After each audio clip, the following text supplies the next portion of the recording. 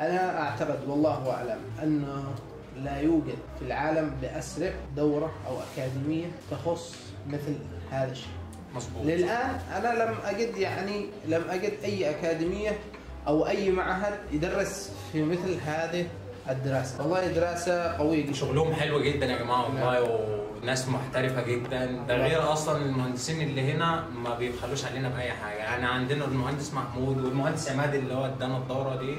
الإنك في يعني حاجة حاجة محترمة جدا. أيوة. حاجة محترمة جدا. نعم نعم في معسكر هنا مغلق ما مش بتطلع من غير بس تاكل أو تجيب طلب من بره وتيجي. صراحة آه، الدورة كانت دورة قوية جدا.